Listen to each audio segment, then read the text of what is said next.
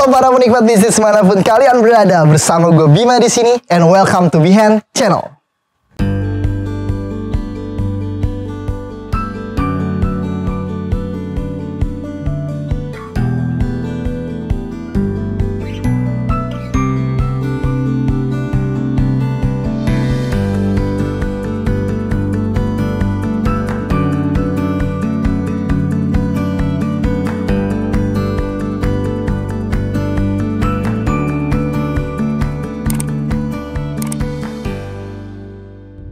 Oke guys, kali ini kita berada di kawasan Siaga, tepatnya di Jalan Warga dan lebih tepatnya lagi kita berada di Gang Lukis nih. Kita berada di gang sekarang. Nah, ngapain sih gue berada di gang? Karena gue akan membahas satu usaha unik yaitu piscok lava. Nah, kalian bisa lihat sendiri nih di sini. Walaupun uh, lokasinya berada di gang, tapi denger-dengar usaha piscok lava ini udah sampai ke seluruh Jakarta yang beli guys. So, kita langsung aja ke tempatnya. Let's go! Come on.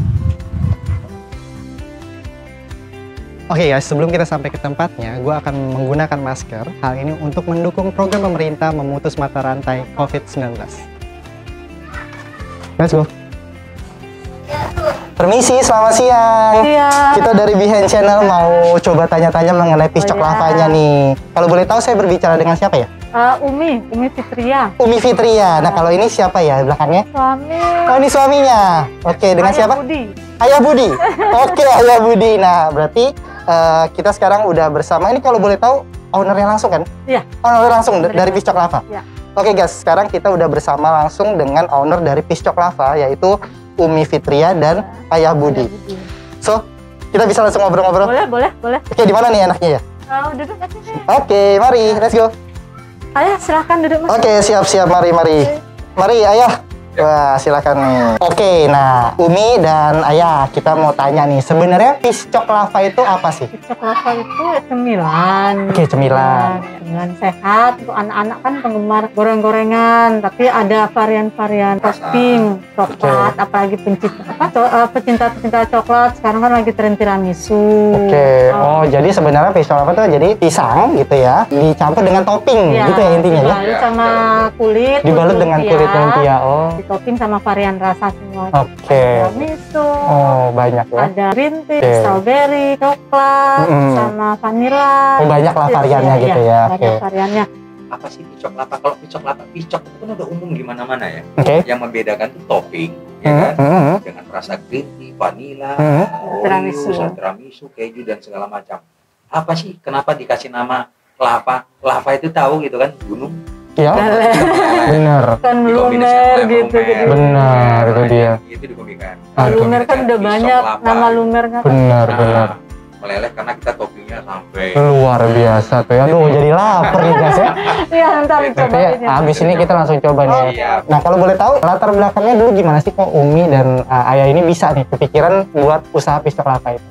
Ya pertama kita mau pingin dagang gitu, Ya. bingung mau dagang apaan. Terus ada kan orang kalau misalnya dagang cari dulu ide apa mau dagang. Tapi hmm. Kita bingung, kita beli gerobaknya dulu gitu. Oh jadi awal-awal beli gerobaknya dulu, tapi belum Iya, tahu apa yang mau didagang. mau Oh, apa. menarik, lucu juga ya nih. bingung gitu. Udah ada gerobak kapan mau dijualin gitu. Kayak teman status dia jualan piscok. Oh. Kayaknya ini gampang mudah tapi kayaknya bisa kalau Gampang, dicoba. mudah, dan bisa lah dicoba Modalnya nih. kayaknya enggak gitu. Modalnya nggak besar gitu ya. Konsep kita semua modal ya. Betul, betul, betul. Udah kita coba gitu suruh main ke tempatnya dia, Ah, ah, coba ah, ah. anak-anak suka enak nih. Mhm. Terus harganya juga terjangkau untuk Oh, anak sekolahan. bener-bener cocok lah akhirnya Cocok, memutuskan iya. untuk jualan. Iya, Oh, seperti jualan. itu, menarik. kita mulai itu pada saat pandemi. Iya. Oh, baru-baru pandemi awal itu. sebulan, sebulan habis itu pandemi udah. Pandemi. Oh, sebegitu sebulan setelah buka pandemi. Iya. iya. Oh, luar Bulan biasa. Desember kan, sudah tuh. Ya, kurang lebih Desember, Iya. Januari, Februari ya waktu itu ya. Betul, Langsung betul. pandemi, anak-anak pada nggak sekolah. Betul, betul. Gimana ini jualannya Eh, pertama? Yang namanya eh, usaha kita ini sebenarnya kan nggak nggak ada gitu terimbas dengan pandemi. Iya. Sama sekali nggak terimbas ya.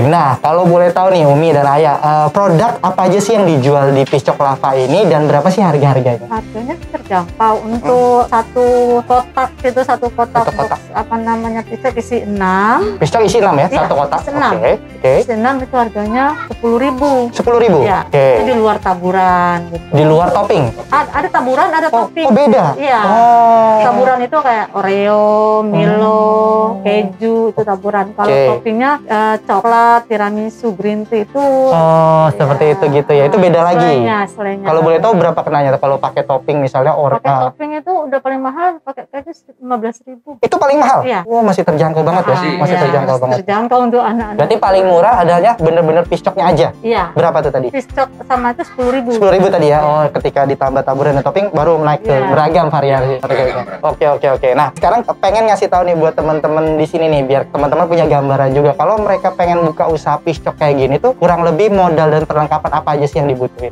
Perlengkapan ya kompor standar. Standar aja ya berarti ya? Penggorengan, Iya Oh, penggorengan penggorengan. ya apa nah untuk apa penggorengan kalau untuk apa modal di dapur bisa lah dipakai dulu sementara Oh kalau iya, bisa tanpa gerobak kayak Tanpa gini ya. gerobak Gitu. gitu ya. Oke, oke, kalau oke. untuk rumahan gitu bisa untuk penggorengan apa ya tinggal tempat box untuknya untuk Boxnya benar itu. Kalau kalau udah sampai jadi kayak gerobak gini nih, kalau kita bisa lihat pisau lapangan bagus nih kan, eh, apa namanya untuk jualnya udah bagus nih. Itu berapa sih habisnya kurang lebih modalnya? kurang lebih 5 juta ah Kurang lebih 5 jutaan ya. lima jutaan Untuk bangun satu gerobak seperti Iya, ini, iya. udah beserta Iya. perlengkapan-perlengkapan lainnya ya luar biasa. Oke oke menarik ya. Jadi nggak begitu besar juga modalnya untuk memulai usaha ini nih buat teman-teman yang lain. Jadi sebenarnya total outlet si Piscok Lava ini ada berapa nih om? Dua di sini Oh. sama Medan Medan aja. Di sini dan Medan. Iya. Oh, ada dua nih piscok lava kalau kalian cari ya. Jadi ini jualannya konsepnya itu eh, dari online ya. Nah, sekarang kalau misalnya kita ngomongin bahan baku nih ya. Nah, Umi dan Ayah ini eh, kalau belanja itu gimana tuh? Apakah ke pasar atau gimana? Eh, untuk bahan baku kayak pisang Mhm. sama apa kulit kita ke pasar Pisang dan kulit si lum, ya, Iya, piscoknya kulit, itu ya. ah, Nah, piscoknya itu Ke pasar. itu kita ke pasar Oke. Berarti setiap hari harus ke pasar Itu Setiap kan hari? Ba- barang seger gitu kembali Fresh berarti ya? iya kita nggak ada frozen nggak ada Nggak ada yang frozen.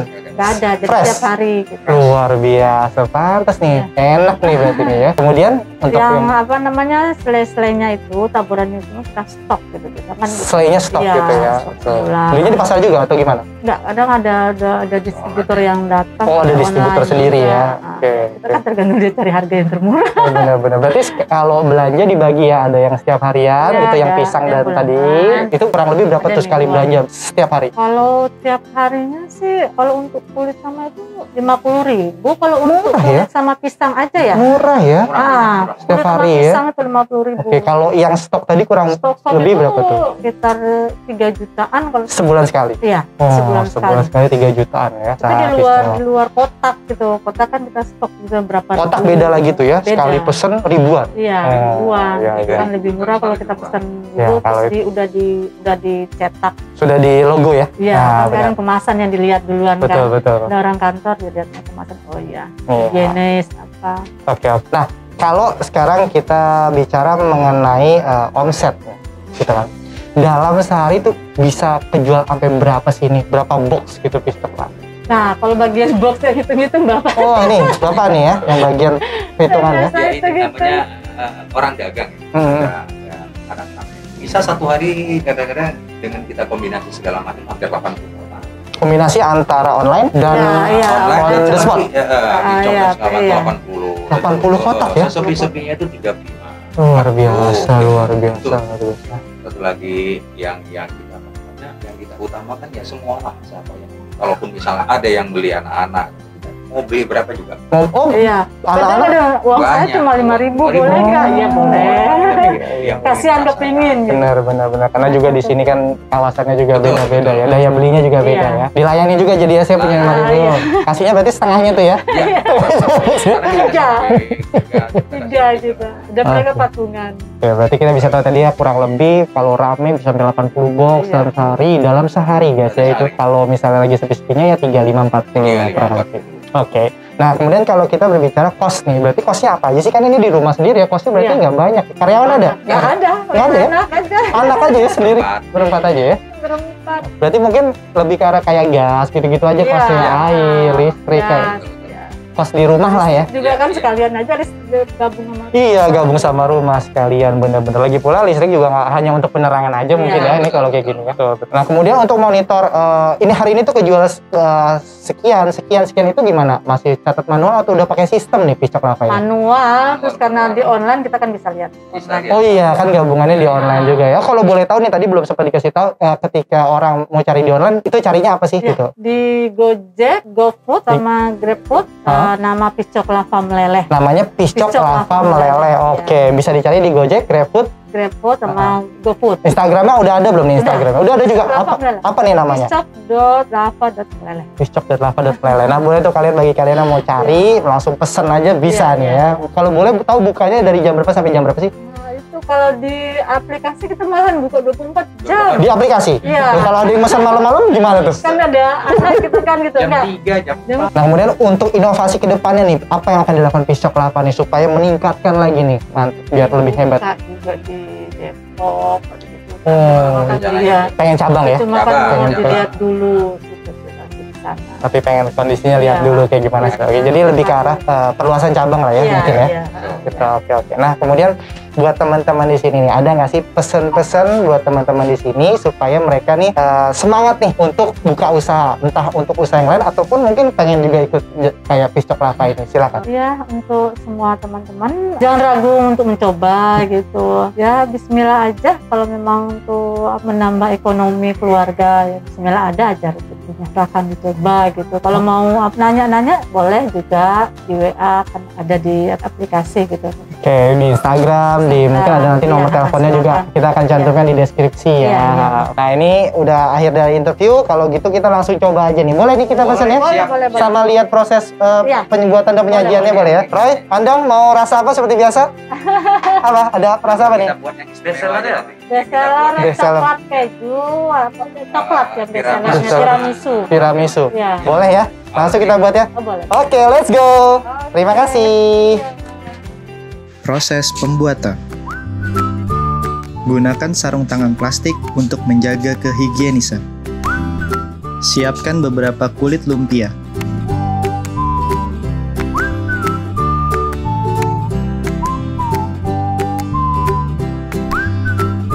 Potong pisang sesuai dengan ukuran yang telah ditentukan.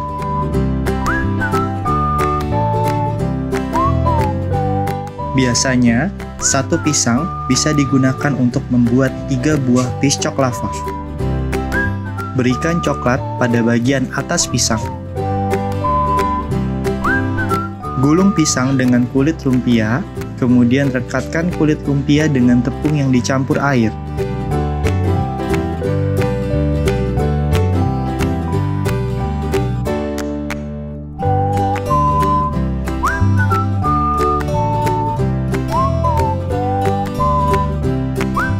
Masukkan pisang ke dalam wajan yang berisi minyak panas. Disarankan minyak tidak terlalu banyak agar kulit lumpia tidak terbuka.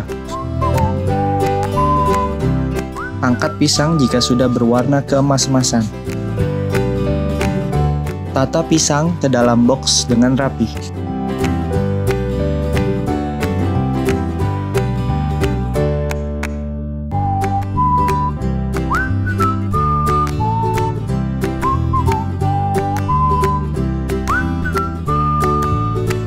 Apabila pisang telah siap, maka selanjutnya adalah pemberian topping.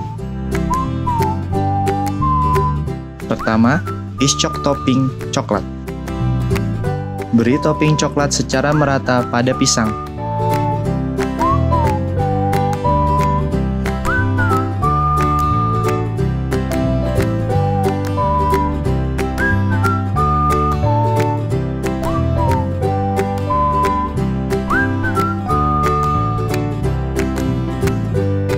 Selanjutnya, piscok topping green tea. Beri topping green tea secara merata pada pisang.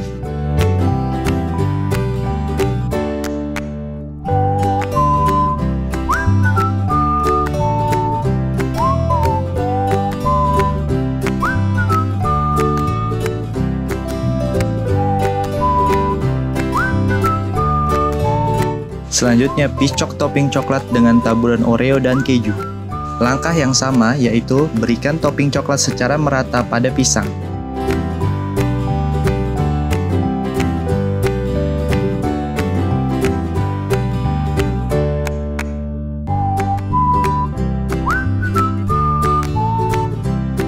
Kemudian, taburkan Oreo dan parutan keju di atas topping coklat.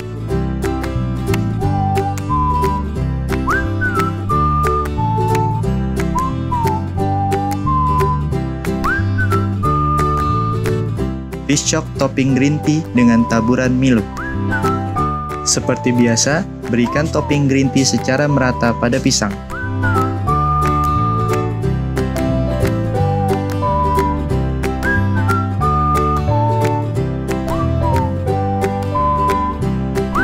Kemudian taburkan bubuk Milo secara merata di atas topping green tea.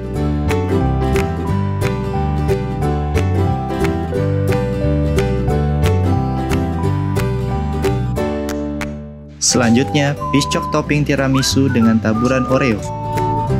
Beri topping tiramisu secara merata pada pisang.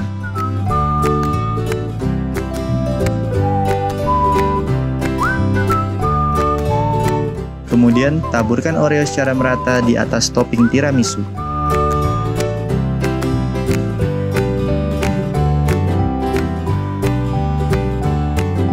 Terakhir, piscok topping susu vanila.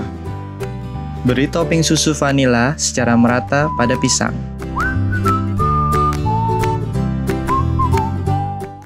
Oke Umi, boleh dijelasin nih, ada- udah ada apa aja nih di sini nih? Oh iya Mas Bima, ini uh, piscok dengan varian rasa, ini piscok eh, apa dengan topping green tea. Green tea ya, wah nikmat Iya. banget nih para penyuka Ya, green tea. ya. Tuh. Ini piscok dengan topping tiramisu Oreo. Tiramisu dengan taburan Taburan Oreo. Oreo, Tuh, ya. luar biasa mantap. Ini piscok dengan topping coklat taburannya varian. Ada keju, Ada keju? sama Oreo. Bisa juga seperti itu ya, pemesanannya bisa. ya. Tinggal selera aja. tinggal selera pesan aja. Yang ini, Hmm, Cina, ini apa nih? eh, topping green tea Green sama tea. taburan Milo. Milo. Wes keren, Ya. mantap, nikmat. Ya, ini yang ini piscok dengan eh, topping vanilla. Vanilla ya? Susu. Vanilla susu. Iya. Oh ya, oke oke. Wah. Nah, nih Mantap. best seller nih. Oh ini best seller ini. Ya. Wah. Simple tapi best seller ya. ya. piscok topping coklat. Udah piscok Iya. ditambah coklat lagi. Coklat, iya. Wah, luar biasa nih, pasti Jadi deh. mantap rasanya.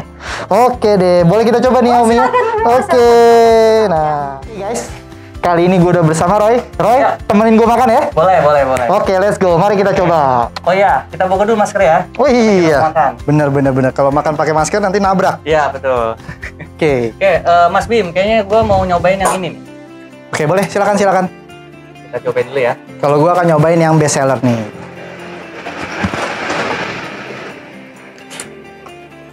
Gue pengen nyobain piscok eh, rasa green tea ini baru deh. Gue soalnya baru pertama kali nyobain piscok eh, rasa green tea. Biasanya kan coklat tuh. Dan yang gue suka dari sini dia piscoknya nggak berminyak ya. Biasanya gue tuh beli di jalanan tuh minyaknya banyak. Tapi ini kalian bisa lihat ya, ini hampir gak ada minyak kering ya. Oke, langsung kita coba. Nikmat ya. Manisnya pas. Manis ya, Mas. yang gue suka pisang itu berasa banget dan gede dan dia nggak keras lembut Mantap, mantap, mantap. lo harus cobain mas Bim Oke, sekarang gua akan cobain yang rasa yang katanya best seller nih. Yang paling simpel aja, piscok, ya kan pisang coklat. Gua akan ngerasain pisang dengan coklat aja. Kita tes. Emang bener dikata Roy, tadi nggak berminyak ya? ya Ada minyak ya, tapi dikit. Bismillah. Hmm. Hmm. Nggak salah guys.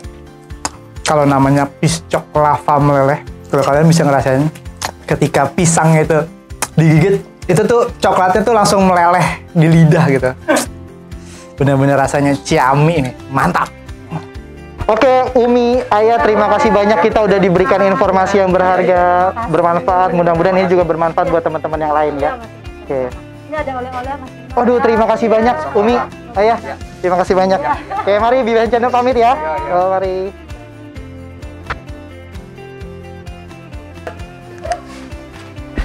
Nah guys, semoga informasi yang tadi telah kita berikan bermanfaat buat kalian semua. Mungkin bagi kalian yang punya budget sekitar 5-10 juta, Piscok Lava ini bisa dijadikan referensi buat kalian yang mau buka usaha. So, bagi kalian yang masih punya banyak pertanyaan ataupun kalian punya request nih, uh, UMKM, franchise, atau anything yang kalian pengen kita bahas di next video, kalian bisa langsung komentar di kolom komentar di bawah. So, support terus kita agar kita terus dapat berbagi informasi terkait dengan bisnis dengan cara subscribe, like, komen, dan share ke seluruh sosial media yang kalian punya. So, see you in next video. Bye-bye.